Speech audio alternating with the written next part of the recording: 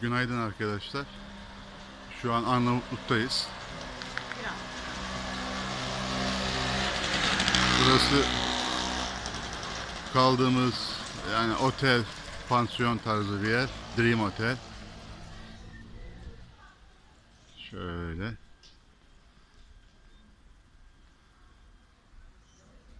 Bu şekilde. Bu da kiraladığımız araç. Birazdan yola çıkacağız. Elektrikler gitti de Wi-Fi gitti. Bak kısaca göstereceğim şimdi sokaklarını falan. Kotor'a doğru gideceğiz. Burası da bizim kaldığımız otelin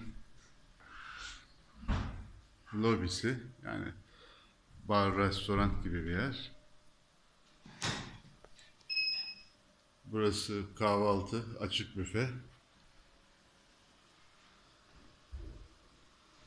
Sosisler, yumurtalar, işte peynirler, ekmeğimiz vardı. Kahve var, çay var.